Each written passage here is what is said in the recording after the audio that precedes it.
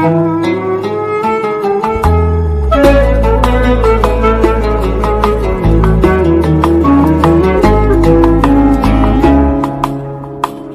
سنة وانتوا طيبين. النهاردة بقى هتكلم عن حاجة حلوة كل الناس بتحبها ما عدا أنا طبعا يعني. هتكلم النهاردة عن الكنافة. أول حاجة عايزة أقول لكم إن الكنافة كانت معمولة للسحور. هتقولوا لي إزاي؟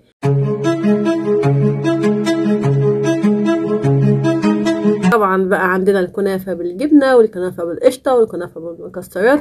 بصوا ما سيبناش حاجة إلا لما عملناها بالكنافة والكنافة بالمانجا. الكنافة ديت ليها قصص كتير قوي ومن بلاد الشام لمصر. يعني ما فيش حد ما قالش إن هي تنسب له. يعني ناس تقول هي تنسب للمصريين وهم اللي عملوها. وناس تانية تقول لا الشام هم اللي عملوها. أنا مش عارفة هو ده صح ولا ده صح. بس إحنا هنقول كله ونبقى عارفين كل المعلومات. أول حاجة عايزة أقول لكم إن الكنافة كانت معمولة للسحور هتقولوا لي إزاي؟ كان معاوية بن أبي سفيان بيشتكي إن هو بيجوع في نهار رمضان. ف اخترعوا له الكنافة. فطلبوا منه إن هو يتسحر بيها عشان ما يجوعش في نهار رمضان. آه رواية القطايف اللي هو الملك سليمان بن عبد الملك هو اللي اخترع الكنافة.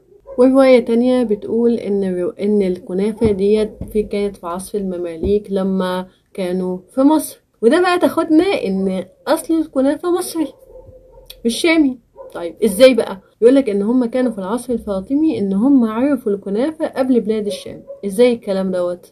دوت كان بيصادف دخول الخليفة المعز لدين الله الفاطمي إلى القاهرة في رمضان وبدأوا إن هم يقدموا له الكنافة فعشان كده قالوا إن هي الكنافة ديت تبع المصريين مش الشوام بيقولوا إن الكنافة وصلت لأهل الشام عن طريق التجارة وبدأ أهل الشام يضيفوا ليها قشطة.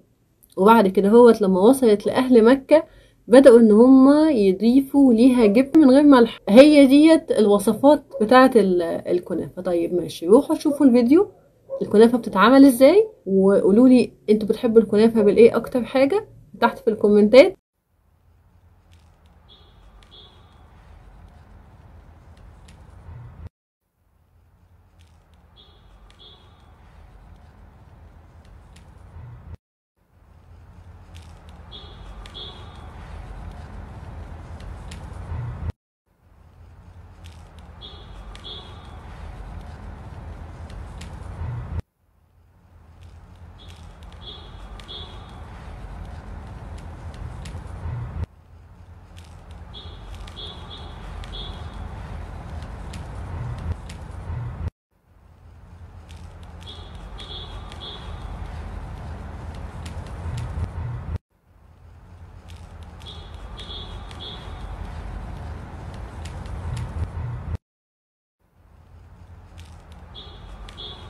أتمنى تكونوا استفدتوا من الوصفة واستفدتوا من الفيديو وقولوا لي إيه أكتر قصة حسيتوا إن هي قريبة للواقع. وكل سنة وأنتم طيبين. مع السلامة.